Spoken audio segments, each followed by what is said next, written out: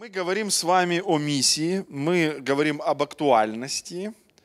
И сейчас где-то еще минут 30 я постараюсь дольше не, не держать вас. И потом, если у вас возникнут вопросы, вы можете их задать. Я постараюсь ответить, мы помолимся, и на сегодня уберусь с вашей дороги. Э, еще один важный момент, э, на который я хотел обратить ваше внимание, учитывая, что у нас тут не только люди среднего возраста и молодого, но есть чуть постарше. Э, многие из нас знали, что такое Советский Союз. И вы знаете, что это государство, которое имело большую часть своей истории ненависть к верующим людям и ко всему, что делала церковь. Часть религиозных обществ в Советском Союзе существовала законно. Но этим обществам, этим церквям власти навязывали стереотип ограничений. Один из таких документов вот перед вами в 29 году, после десятилетия свободы, пришло ограничение деятельности, и посмотрите на смыслы – Религиозные общины не имеют права заниматься никакой деятельностью, кроме удовлетворения религиозных потребностей верующих в пределах культового сооружения. Может, молодежь не поймет, идея какая? Ограничить жизнь церкви пределами дома молитвы. В 59 году, 40 лет прошло, тот же самый смысл. Или 30 главной задачей богослужения сейчас является не привлечение новых членов, а удовлетворение необходимых религиозных потребностей верующих. Что произошло? Советской власти удалось навязать синдром, что служение ограничивается собранием. Я читал документы в архиве, очень интересные – Э, в 50-х годах во многих домах молитвы на выходах было написано «Иди и впредь не греши». Кто-то видел такую надпись? И уполномоченный пишет, это так хорошо, что верующие такие вещи написали на дверях. Потому что этот текст ориентирует не на то, что необходимо делать, а на то, что не нужно делать. Это очень важный момент для них был. Их идея была какая? Пусть будут святые, пусть будут отделенные, лишь бы не были активные. И вот этот момент очень сильно повлиял на сознание верующих. Верующие стали мыслить категориями, что служение ограничивается собранием. И вот у нас на Днепропетровщине мы уже 20 лет повторяем в конце каждого собрания. Наше собрание закончилось, а служение только начинается. И если бы в 50-е годы на выходах церквей писали «не иди пред не греши», а написали «идите по всему миру и проповедуйте Евангелие всей твари», то там эти уполномоченные, они бы первые там были и сказали «напиши, иди и больше не греши».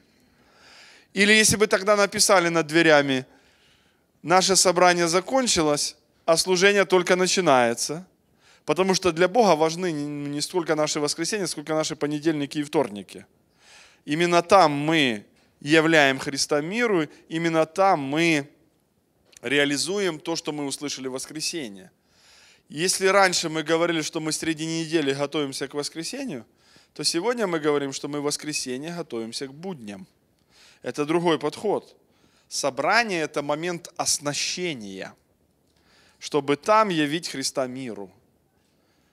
И когда мы смотрим таким образом – мы осознаем, что, к сожалению, советской власти удалось повлиять на целое поколение верующих.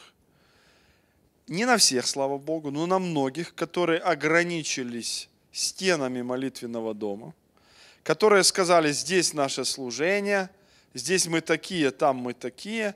Тут еще православный контекст очень повлиял. Я видел раз в жизни такую ужасную картину. Мужик с сигаретой идет в православную церковь. Дошел до храма, папироса еще большая, выбрасывать не хочет. Это реалии другие. Он потушил папиросу и положил на подоконник с другой стороны. Он зашел в православный храм, он сделал все по канону. Он вышел из храма, и вы думаете, он забыл эту папиросу, которая там лежала на подоконнике?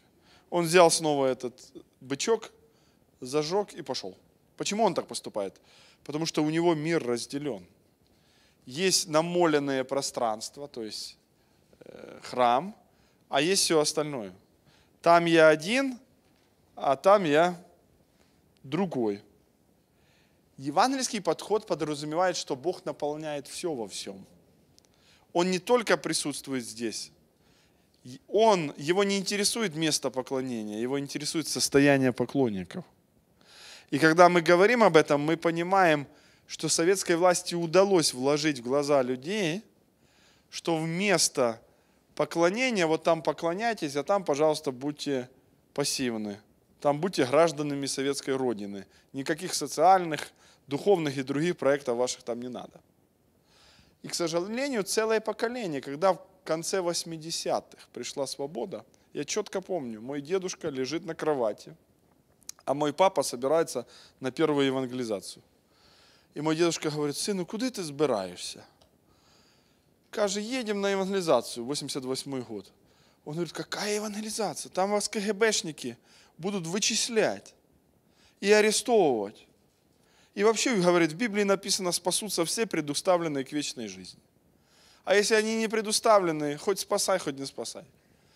И это дедушка, который в 50-е и 60-е творил великие дела во имя Господа. Но эпоха поменялась, мышление не поменялось. И уже люди, которые в свое время на самом деле были позитивно влиятельны, теперь произошел момент, в том числе из-за советской власти, который привел к тому, что наша задача сохранить веру, а не распространить веру. Друзья, если я говорю о личной святости, только я эгоист. Я думаю о своем спасении. А наш девиз четыре слова. Спасся сам, спасай другого. И вот от этого давайте посмотрим на основные понятия, которые мы будем использовать. Первое понятие мы уже прояснили. Слово «миссия» происходит от латинского слова «митере» – «посылать» или «быть послан». В 20 веке в богословии пришло осознание, что миссия – это прежде всего Божье дело, а мы принимаем участие в том, что Он уже делает. Не Бог помогает нам делать что-то, а мы помогаем Богу делать то, что Он уже давно делает. Это очень важный момент. Бог вершит эту работу. Если ты не пойдешь, он найдет другого, потому что он в этом заинтересован. Мы рассматриваем миссию как дело Бога, а не, а не, не просто как дело церкви. Это Бог послал единственного Сына Своего. Послал, то есть сделал миссионером, посылать или быть посланным. Он отдал Своего Сына ради нас. Он думал об этом, Он сделал это, и сегодня Он посылает церковь. Но прежде всего это его дело. Поэтому мы рабы ничего не стоящие. Мы делаем то, что мы должны сделать. Мы помогаем Богу в том, что Он давно делает. И если мы не будем этого делать, Он все равно это будет совершать. И Он найдет ослицу, Он найдет камни, которые будут вопиять, Он найдет каких-то других людей на маргинесе. Если ты и я, мы не пойдем, у него будут другие каналы. Но где ты и я будем? Что мы в конце жизни скажем? Рано вставали, поздно просиживали, ели хлеб печали. Друзья, если уже рано вставать, то для великих целей. Если поздно просиживать, то чтобы Господь прославился. Если сегодня есть хлеб печали, то чтобы вкушать завтра пресноки радости. Иначе мы можем услышать слово напрасно. Это его дело. Есть такая дисциплина, которая называется миссиология. Это часть христианской теологии, которая рассматривает мир через призму его присоединения к христианской вере. И отсюда еще один важный момент. Христианская вера по своей сути миссионерская, потому что она подразумевает обращение ко всем народам. Я уже начал говорить вот эту мысль. Бога не интересует место поклонения. В книге «Деяния апостолов» эта тема очень сильно развивается – тема, которая говорит о том, что Бог наполняет все во всем. Мы его не можем ограничить горой Геразим, храмом в Иерусалиме. Мы его не можем ограничить э, каким-то домом молитвы. Это еще Соломон уразумел. Говорит, небо и небеса небес не вмещают тебя. Тем более дом, который я построил для тебя, он не может тебя вместить. Христианская вера миссионерская. Кто-то помнит историю, когда Бог сказал Филиппу пойти на пустую дорогу, и там он встретил Евнуха, который ехал на колеснице. И после того, как Евнух принял крещение, написано, что Евнух продолжал путь и продолжал как? Кто из вас помнит? Радуясь. Это удивительно. Удивительно почему? Потому что раньше в Ветхом Завете люди радовались, когда шли в Иерусалим. Такие в псалтере есть псалмы, называется «Песнь восхождения». Иерусалим находится сверху. Когда паломники туда шли наверх, они радовались.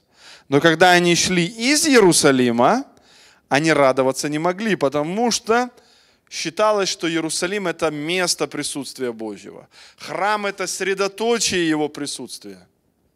И там даже такая притча есть о человеке, который шел из Иерусалима в Ерихон, и на него напали разбойники. Если бы он шел из Ерихона в Иерусалим, на него бы никто не напал. Но теперь Евнух идет на юг, как один проповедник на Ровенщине проповедовал, говорит, и поехало Слово Боже в Африку. И когда це Слово Боже їхало, оно ехало от Иерусалима. Но при этом парадокс, что нам говорит Лука, автор Деяний апостолов? Он говорит о том, что оказывается наступает новозаветная реальность. Он едет от Иерусалима и при этом радуется. Даже на Аляске можно радоваться. Даже на краю земли можно радоваться, потому что приходит новая реальность. Мы его не можем сосредоточить в одном месте. Мы не можем его связать одним днем недели. Он не только Бог Иерусалима, Он Бог всего мира. Он не только господин субботы, Он еще господин понедельника, вторника, среды и всех других дней.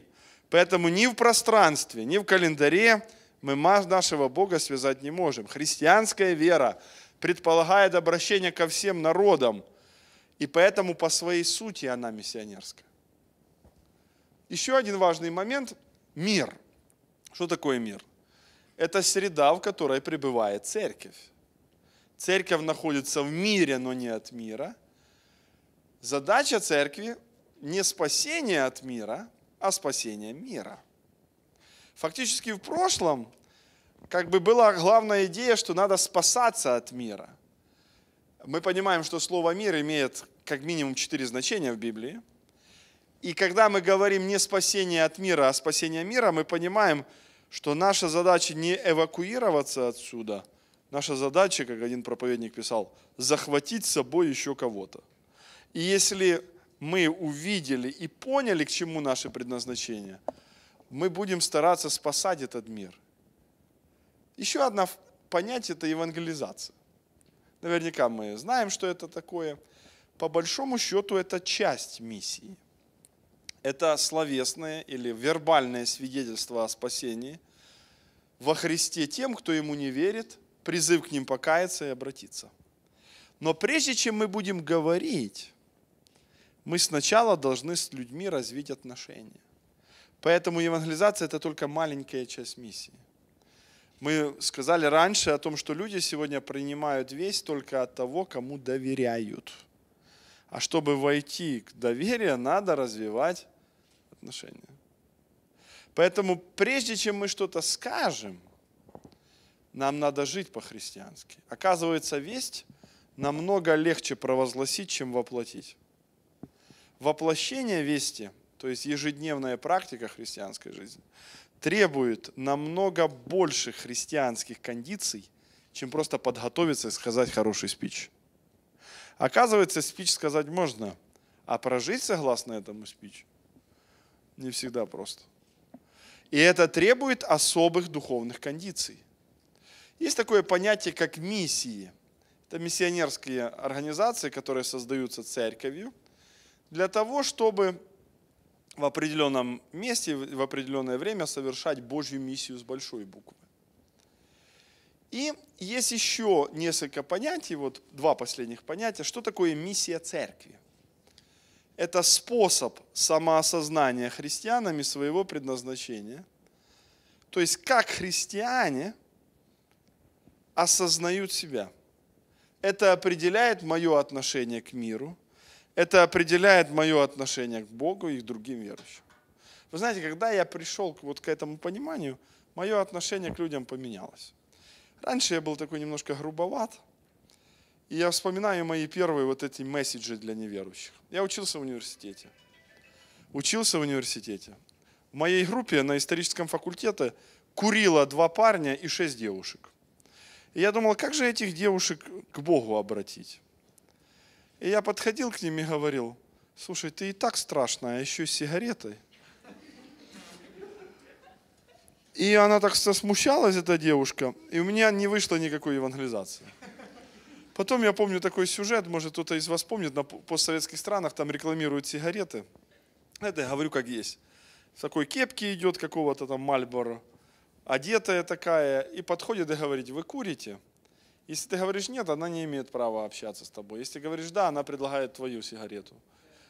И вот они рекламируют вот эти вещи. Я помню, одна девушка в Днепре такая в Мальборо подошла ко мне в кепке, в какой-то футболке. И говорит, вы курите? Я говорю, вы что, девушка, я что, схожий на дебила, чешу.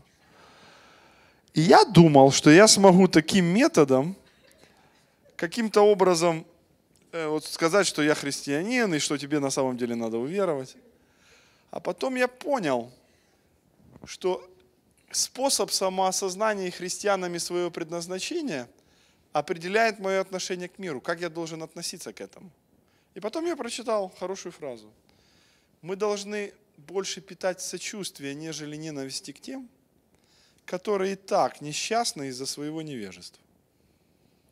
Больше сочувствия, нежели ненависти питать к тем, которые и так несчастны.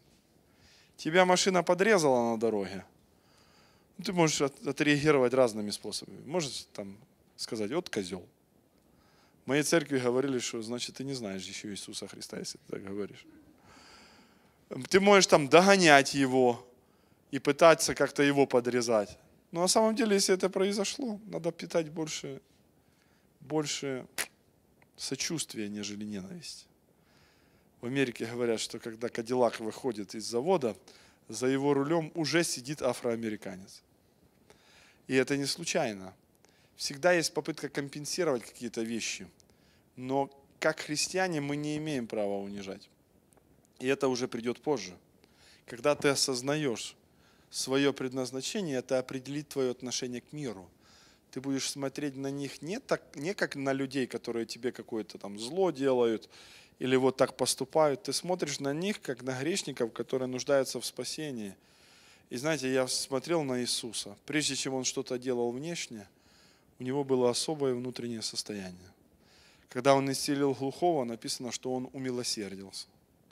Когда он исцелил другого больного, слепого, написано, что он жалился. Возле, гроба Лазаря, помните, что Иисус сделал? Прослезился. Внешнему действию Иисуса, внешнее действие Иисуса предваряло особое внутреннее состояние Иисуса. Бога не так интересует, что ты делаешь, его интересует, почему ты это делаешь. И когда приходит это осознание, ты по-другому относишься. Это определяет твое отношение к миру.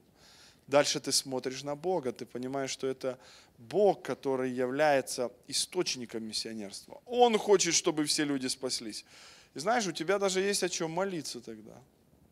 Так кажется, и молитвы нет.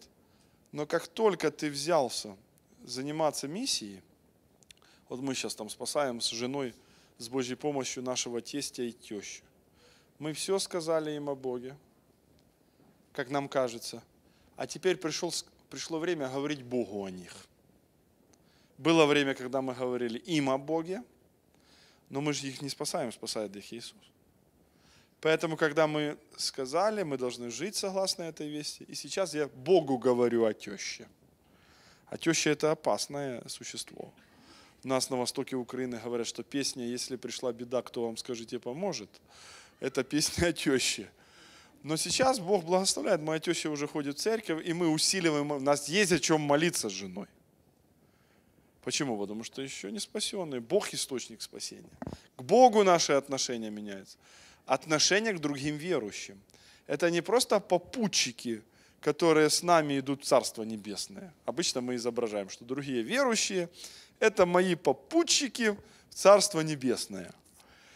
На самом деле это сотрудники, соработники, это пазлы без которой картина нашей церкви не выглядела бы таким образом. И когда мы понимаем, что другой мой соработник, когда ты понимаешь, как этот автогонщик говорил, что когда мой штурман говорит, поворачивай направо, и я при этом ничего не вижу, но я ему настолько доверяю, что я поворачиваю направо. И вот это отношение в церкви, ты понимаешь, что это соработники, и мы в одной команде. Еще одно определение миссии церкви – это участие верующих в Божьих делах в мире. Бог делает определенные дела в мире. Мы участвуем в этих делах.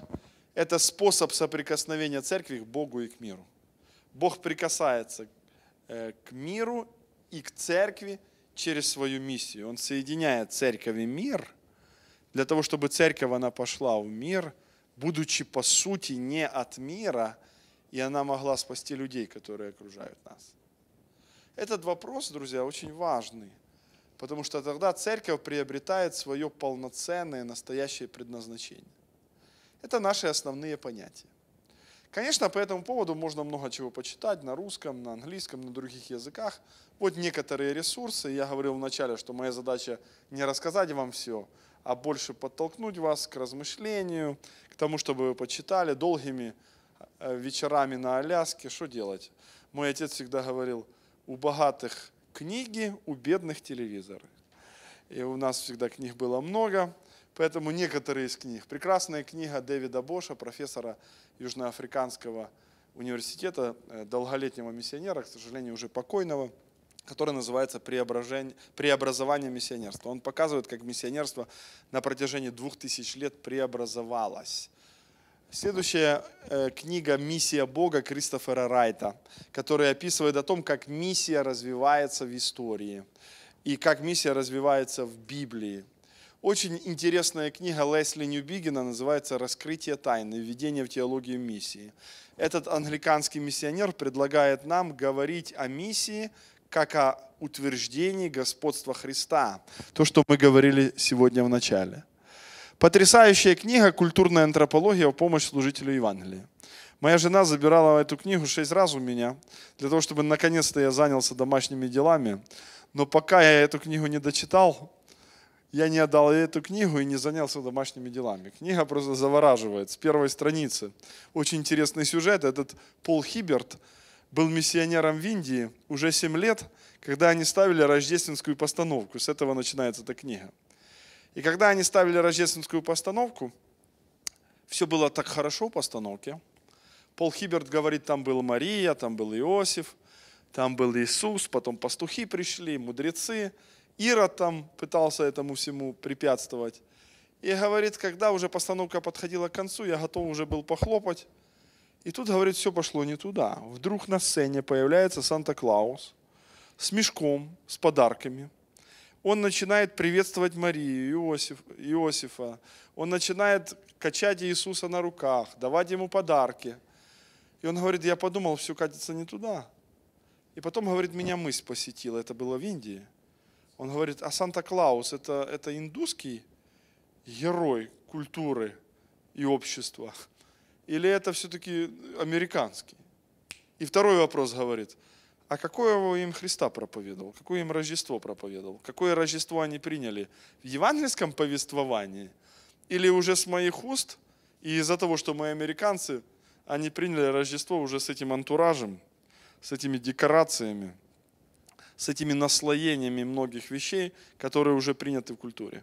И это заставляет его глубоко переосмыслить, где, собственно, евангельская весть, а где то, что одевается в культуру что может адаптировано быть в культуре, а что нельзя э, адаптировать. Он размышляет об очень интересных вещах, включая такую вещь, когда он проповедует и читает текст «Фарисеи и мытарь зашли в храм помолиться», и он читает, «Мытарь же, бия себя в грудь, сказал, будь милостив ко мне, грешнику».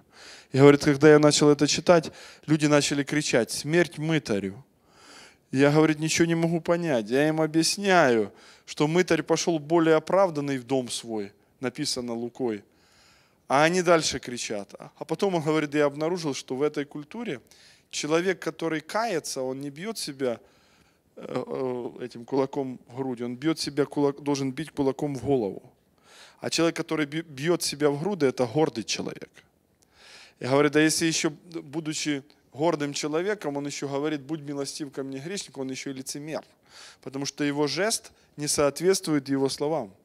И это заставляет его подумать над вопросом, а как же историю о фарисее и мытаре проповедовать в культуре, в которой смиряющийся человек бьет себя кулаком в голову, а не а в, в грудь.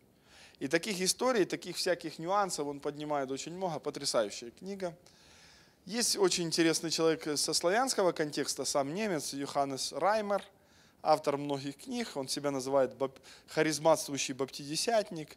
Он выходит с баптизма, который вот, э, там, пережил духовный опыт, крещение Духом Святым. Он написал книгу «Мир в объятиях Бога». Он в Германии открыл семь очень интересных церквей, миссиональных. И вот этот опыт он излагает в этой книге.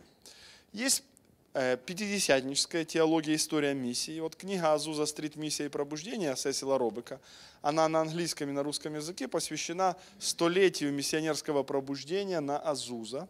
И там вы можете найти очень интересные э, сводки о миссионерстве с Азуза. На минуточку, друзья, за два года после пробуждения в Лос-Анджелесе с 1906 по 8 год или во время пробуждения миссионеры с Азуза поедут в 52 страны мира. У них не было денег, у них не было ресурсов, самолеты тогда не летали, но они понимали, если ты этот опыт пережил, ты не можешь жить прежней жизнью. 52 страны мира были охвачены за два года пробуждения на Азуза миссионерами с Азуза. Выглядело все очень интересно. Если вы приходили к Э, лидеру пробуждения Уильяму Сеймуру садились в церковь в очередное воскресенье, он говорил, ты пережил этот опыт? Он говорит, да. Почему ты до сих пор здесь сидишь? Ты должен начинать новое служение. Ты должен открывать новую церковь. Ты должен идти до края земли. И его фраза «количество крещенных Святым Духом и количество миссионеров должно быть одинаковым». Потому что это миссиональный опыт, это миссионерский опыт – а если ты этот опыт пережил, но при этом не стал миссионером, он говорит, или тебя не научили, или опыт у тебя не был тот. И как раз об этом пишет Сесил Робек. Есть посложнее книжки, не буду вам представлять, этого человека вы знаете, он не так давно тут преподавал. Он исследует вопросы, э, связанные с э, современным мировоззрением и ответом церкви на это мировоззрение, Роман Соловей. И есть еще славянский библейский комментарий, очень интересный комментарий на все Писание, написанный э, авторами с Восточной Европы, который тоже поднимает частично вот эти вопросы, о которых мы с вами говорим. Итак, друзья, мы говорим об актуальности, мы проговорили основные термины и некую, некоторую литературу. Завтра, если Господь позволит, мы будем говорить о миссиональном взгляде на Писание. Что такое миссия в Ветхом Завете, очень кратко. Как развивалась новозаветняя миссия и какие секреты были в первоапостольской церкви. Потом мы посмотрим коротко на четыре модели, которые выработала церковь по отношению к миру на протяжении 20, 20 веков. И придем к тому, как мы сегодня можем быть эффективны в миссии, что нам для этого надо. И мы сразу обговорим это с больше такой теологической стороны – а затем подробно поговорим об этом практически. Потому что это очень важно. Как практически это совершать в нашем контексте. На основании сдвига в миссионерстве.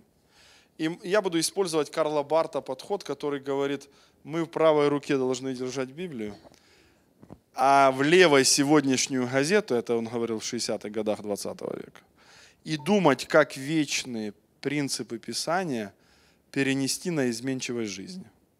Вот еще раз вот эта фраза. Э, мы должны в правой руке держать Библию, в левой сегодняшнюю газету и думать, как вечные истины Писания перенести на изменчивость жизни. Ну, сегодня мы уже не держим газету, мы держим новости. Поэтому один молодой человек мне говорит, я бы перефразировал Карла Барта, я бы сказал, в правой руке держать Библию, а в левой руке iPhone – и думать, как вечные принципы Писания перенести на изменчивость жизни. А второй человек говорит, не, не, не так.